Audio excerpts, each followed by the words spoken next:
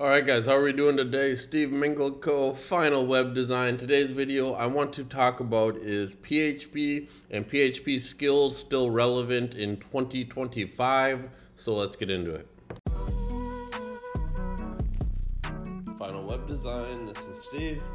Video, we're going to go over why PHP is still absolutely relevant in 2025 and why I think learning PHP it's probably one of the best back-end languages you can typically learn or just languages in general because really it's WordPress. So let's go in here to look at the top 10 platforms for developers with PHP. First of all, what is a CMS? It's a content management system that basically allows you to kind of prioritize your website through content as opposed to having to code out all of your pages. Why is it important to use a content management system? Because it makes simplifying and managing your website a lot easier than trying to again code everything up and it will often have like responsive technology behind it so that when you're doing these pages and you're adding new information and you're adding blogs you don't have to again kind of redevelop the entire page from the ground up cms platform is obviously important because you want to go with a product or a platform that's going to be able to evolve with your business, evolve with the future, make sure that you're able to continue to learn and grow with that platform, and that it's either like an open source where it's being worked on by the public and not some private company that you're going to have to obviously pay going forward. So just a few things here. User friendliness is obviously important. You want something that's easy to use and friendly for if you're giving it to clients or other professionals design templates, what kind of products are out there that you can use as far as template themes, pieces that you can construct to help build your website in a quicker fashion. Uh, data portability. So, can you bring your databases in easily? Is it working with PHP MyAdmin? Is it working with MySQL? So, all these are kind of important factors to consider. Uh, user support is there good documentation? Is there good resources out there? Are there other people? Are there YouTube videos? Anything that you need. So let's just look at here's actually the list right here, and I'll go through all of these in a little bit of detail. I won't spend too much time. But WordPress obviously is what I highly recommend. WordPress is awesome. It's open source. There's a huge community. There's a lot of documentation. There's a lot of resources out there that you can use. There's a lot of help you can get if you need other developers or people to help you with your website. Um, WordPress has powered a huge amount of websites that are currently out there. So just taking a look at this quickly, it says WordPress is widely used open source content management. It's been around since 2023. It's very user friendly. It allows you to create, edit, and publish content without requiring expensive technical knowledge. Now, yes, there is a learning curve behind WordPress, but it's nothing like trying to build a HTML, CSS, JavaScript responsive website from the ground up. WordPress supports a wide range of content types, including text, images, videos, and documentations. Um, one of the strengths of WordPress is a large community, which I kind of just mentioned. There's also a lot of plugins, a lot of extensions, a lot of third party pieces out there that you can use to ingrain with your website. WordPress is written in PHP. So that's why I say PHP is so important. I'm already talking about WordPress, which is powering 80% of the websites out there. It is highly scalable and can handle websites of all sizes. It also is a good blogging platform that's built into the actual WordPress CMS with the post features. Details WordPress accounts for, okay, 76, I think I said 80 percent of the CMS market. It supports a lot of languages, a lot of plugins. I kind of mentioned this. So those are some of the power, the positives. Accessibility, large plugins can require updates. I mean, you're gonna find that with anything. That's pretty standard. Technology evolves. Open source means it's open to more hackers. I mean, yes and no. As long as you keep stuff up to date, you're usually able to pre prevent some of that. Uh, customization requires a deep level of understanding. Yes, it does, but then again, that's why I say learn PHP because you're going to be able to have that flexibility to make those customizations. The next one, and I'll be a little bit quicker with these ones, is Joomla. I used to love Joomla. I highly supported Joomla up until it became incredibly difficult to update the system platforms from like version two to three and then three to four. And I think now it's four to five. And it's just got increasingly hard. But Joomla is a PHP CMS and it's integrated with sites and the hosting provider can make responsive websites a breeze. Has a very nice user interface in the backend that I highly recommend. It's one of the best PHP platforms out there. Uh, about 6% of websites rely on Joomla, so it's a far second to WordPress. However, it is still a PHP, and that's why we recommend using PHP. One of the top three CMSs with free plugins and themes, supports multiple languages. Uh, some of the cons are it's not as SEO friendly. Now with WordPress, you're gonna need something like a Yoast SEO. However, those plugins are free. They're very easy to use. So number two there is Joomla. Joomla is awesome. Uh, it's just not as awesome as it used to be.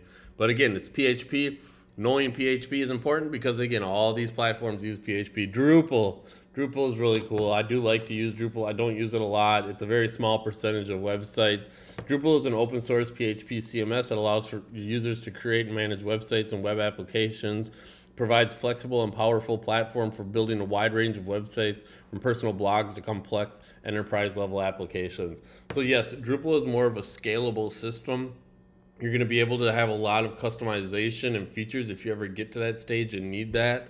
Uh, Drupal is a lot of modules and different pieces that can be used together. Uh, big companies such as NASA, Harvard, Tesla use Drupal. So it is a big, you know, corporate America reference when it comes to a platform like Drupal.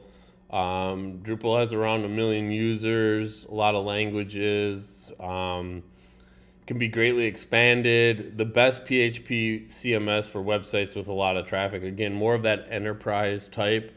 Uh, it is a, a, more difficult platform to understand for developers. It's not as straightforward as WordPress or Joomla, and installing modules and stuff is not as easy. So, Drupal would be number three. Again, these are all platforms using the PHP backend uh, language. So it's incredibly important still in 2025 to know PHP because this is going to be the number one backend language that's going to be used with all of these platforms, which powers a large percent of the internet. October CMS, this is another PHP based on Laravel framework, which is basically an app. Uh, a language, a framework of PHP, Laravel. Um, it allows you to make a lot more customizations. It has its own community. It has its own ecosystem of plugins and themes. It's based on Laravel, which is increasingly popular. Pros, it's open source, uh, versatile, expandable. You can grow with it. It does require developers to have that understanding of Laravel, which is a little bit more complicated and there's fewer users on a platform such as WordPress or even Joomla. So let's go to the next, which is OpenCart.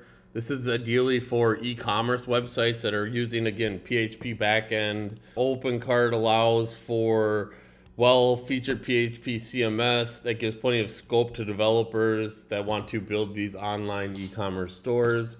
Allows more than 20 ways to pay.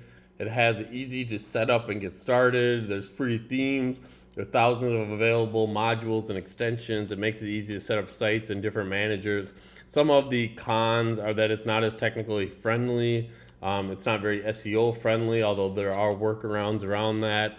It's not even a system that keeps up the tasks from within modules. So use OpenCart if you're getting into e-commerce, but again, I would almost recommend if you're going to use a PHP backend, you use something like WordPress and then just incorporate WooCommerce. That's going to make your life a little bit easier, a lot more resources out there.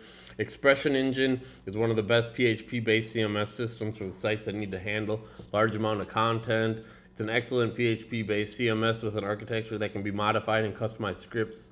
So this is just another CMS platform using PHP.